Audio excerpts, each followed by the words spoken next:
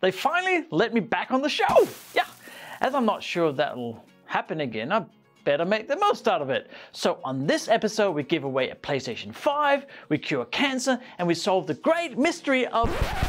In this episode, we go to space, get some function updates, and catch up on the many changes to Azure SQL. That was okay. All right, I'm Lars Klint, and you are watching Azure This Week, the only Azure news show that is made from compressed and recycled Cosmos DB instances.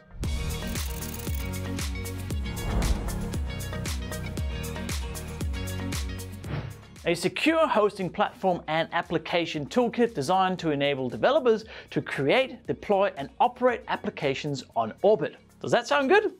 Now the key to this is that last bit, on orbit. That means spacecrafts. And this week, Microsoft released the preview of the Azure Orbital Space SDK, which is not only a great name, but also a way for developers to take the cloud to, well, space. And this isn't some service that potentially might talk to things in space. The Azure Orbital Space SDK, I can keep saying that, hmm, designed to be spacecraft agnostic. Yeah, exactly like when Jeff Goldblum uploads that virus into the alien spaceship in the movie Independence Day. Exactly like that, I think. Also, Jeff would like you to click that subscribe button. He told me so himself. Anyway, what does this really mean for us humans though?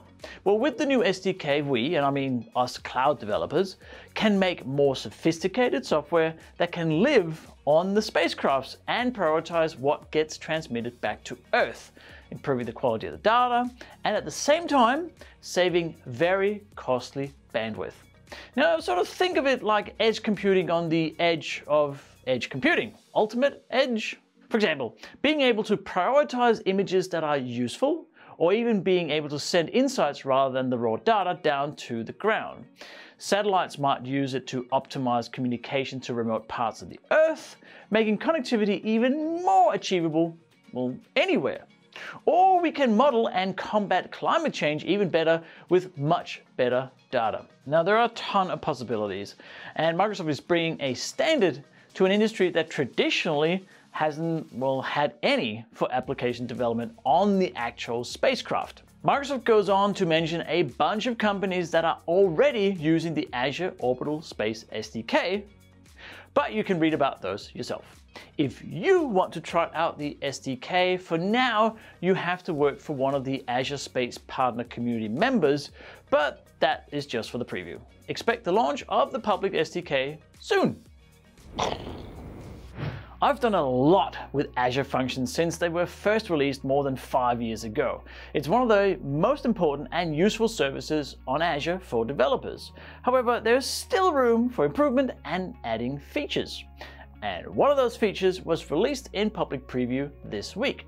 The Azure SQL trigger for Azure Functions means you can now trigger an Azure function when a row in a SQL database is created, updated, or deleted.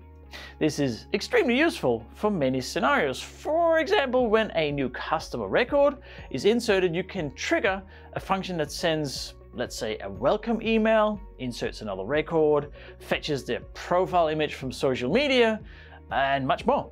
Azure SQL bindings for Azure Functions have also enabled input and output binding support to Java, PowerShell, Python, JavaScript, and C Sharp functions, so well, everyone can join in on the fun. One scenario I can see with this is that data manipulation in the database row can be outsourced to an Azure function, which creates a lot more flexibility. So give it a go, try it out today. If you're after some very different and engaging ways to learn about cloud computing, check out the Cloud Adventures on A Cloud Guru. And to sweeten the deal, five of these adventures are completely free, forever. Yeah. For example, deploying basic infrastructure with CLI in Microsoft Azure, taught through comic strip snapshots starring the deployee employee deployee of the month as he works through different infrastructure deployments. Or what about an explorer's guide to Azure Data Studio? You'll learn about data in Azure through A plus storytelling. With a driving narrative, lively visuals, and background music, it'll make you feel like a real explorer, because they always have background music. Check them out using the link in the description. To continue in the SQL track, a bunch of smaller updates for Azure SQL came out in the past couple of weeks as well. You can now monitor Azure SQL Database restore progress at a more granular level, which is useful for critical restore operations, for example, to a production environment. There's better transparency for backups by making backup tables queryable. This allows you to confirm what data is in your managed Azure SQL backups. No more black box, fingers crossed, hope you have the right backup kind of scenario. You can use the log replay service to migrate to an Azure SQL managed instance. For the general availability release, Azure has included the no checksum requirement for backup files, resumable restores in case it well, gets interrupted, a detailed progress report, and my favorite, managed identity support.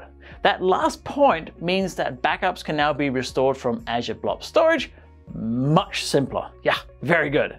And of course, finally, do a point in time restore of Azure SQL across subscriptions without screwing up a bunch of things. Hmm. There are a bunch of limitations to this though, so but you can read about those in the link below. Okay, I have no more this week. But if you're after much more cloud content, why not subscribe to the channel? Follow us on Twitter, or maybe even get, yes, yeah, this is good here, maybe even get a completely free subscription to the platform. Yeah. In any case, take care, do more cloud, and stay awesome, Cloud Gurus.